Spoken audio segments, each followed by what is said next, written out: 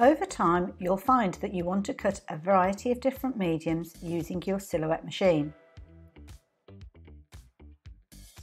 Depending on its capabilities, you can cut anything from the thinnest of vinyls right the way through to thicker and more dense mediums. This will depend on the machine you are using. Some mediums will need to have more power behind the blade. There are a variety of different alterations you can make, giving you lots and lots of different possibilities when creating with the silhouette. And the beauty of the software is that it allows you to adapt for all of these different opportunities. Some may require different blades, and information on these can be found on the Craft Store website. So let's bring a design in to start with.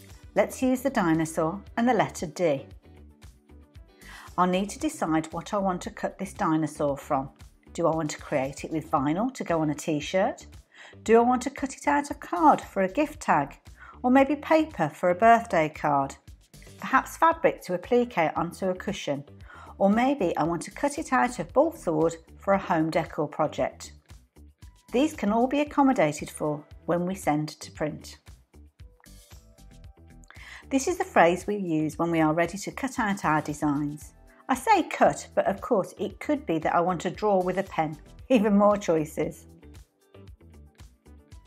In the top right hand corner you will find the tab that says send.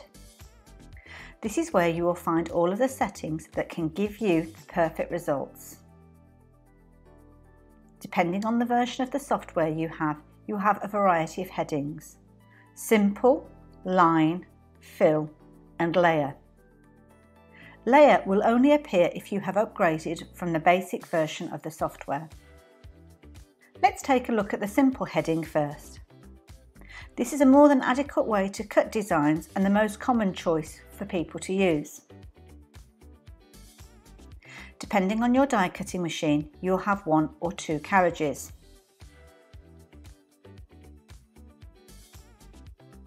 I'm working with a Cameo 4, so I have two carriages as you can see. Carriage number one holds the tool on the left hand side. This carriage is built for speed and is used for a majority of light to medium weight mediums. Carriage number two on the right has more power behind it. This is the carriage that you tend to use with specialised blades such as the rotary cutter and the deeper cutting blades. You need to have the power of carriage 2 for these blades to operate, which is why they are not compatible with some of the earlier release machines. You'll notice that the blades will have numbers on, number 1 for carriage 1, number 2 for carriage 2. So how do you know which blade to use? Well this will depend on the medium that you're working with. So let's have a look at carriage 1 to start with. This is the carriage that will hold the blade that comes with your silhouette machine. Under the heading of material, you will have a whole host of different mediums that you can work with. These are settings that have been created as suggestions, but are all adaptable and may need tweaking. For instance, not all cardstock of the same weight has the same density, so the settings will need to be adjusted. Let me give you an analogy. A kilo of feathers and a kilo of concrete weigh exactly the same, but they have very different densities. If you have a particular brand of cardstock that you like to use, then the good news is you can save the settings so you don't have to adjust them every single time. More about this later. You will notice that some of the mediums have a warning triangle by the side of them, for instance balsa wood. This is because this type of medium is not compatible with carriage number one. However, it will be compatible with carriage number two, but we'll look at that later. So as you can see, there are a lot of presets in here already. It may be that these are suitable straight away, or you may need to tweak them. For instance, your cardstock may be a slightly different density, so you'll need to tweak in those circumstances. And you may be using an older blade. That might be another reason for you to increase the blade depth. These are all features that you will get used to as time goes on. As I mentioned, when you're working with specific brands or favourites, you may find that you want to keep those settings for the next time you use them. This will be saved under the headings User Defined. If you are using auto detect blades, the next heading, Action, can be kept on auto and it will change the action depending on the tool being used. However, there are manual choices that can be made if an auto blade isn't being used. This gives you a certain amount of editing detail even when you're about to send to cut. They will only be active if you have more than one design in your work area so let's have a look at this dinosaur that we've got and the letter D in the work area. We can still manipulate these somewhat within reason. You can move them around without needing to go back into design, so I can overlap the letter D on top of the dinosaur. If I want to resize or alter the order, then I will need to go back into Design tab at the top. If I draw a box around everything, you can see that both the dinosaur and the letter D have been selected, but they are also grouped together. This outer box shows that. But look what happens when I go outside of the medium area. Part of the design goes light, and this is because it's outside of the cutting area, so it won't cut the lighter shaded area. If I did continue to send to cut, then I would get a warning alerting me of this, asking if I want to proceed. So let's bring it to a more central position. And let's look at no cut, cut, and cut edge. No cut is exactly that. By clicking on that, the cutting line disappears and no cut will be made.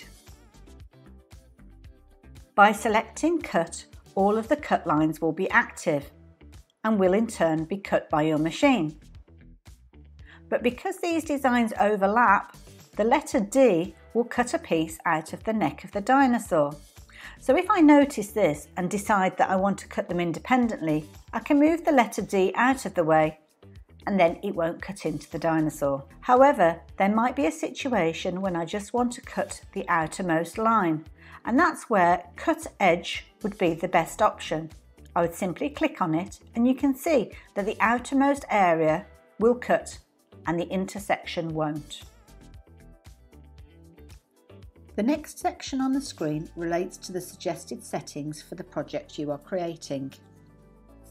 It's often a good idea to start with the suggested settings and alter them as and when you need to. So what do these settings mean? The blade depth refers to how much of the blade is exposed. If you're working with an auto blade, this will automatically be altered when your machine starts to cut. If you are working with a manual blade, then you will need to alter the dial on the blade before you start to cut. Force relates to pressure applied to the tool and can be increased or decreased.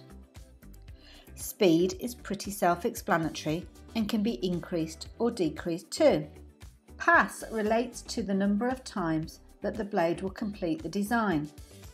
Sometimes you may want to increase this for a double cut, which means the blade will repeat the cut before ejecting the mat.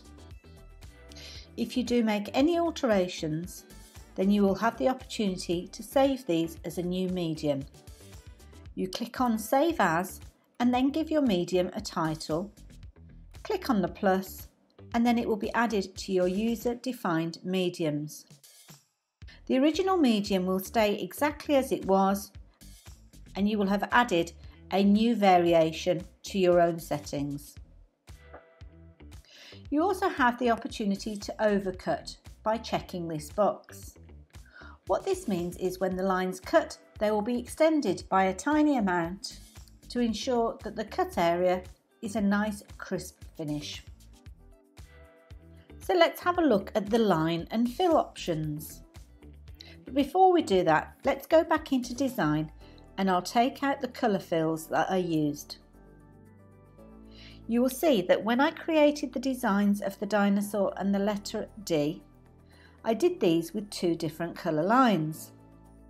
a red line for the dinosaur and a green line for the letter D.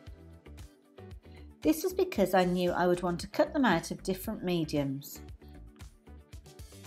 When you use different colour lines, it means that when you go to send, you can choose different settings for each of the cut lines.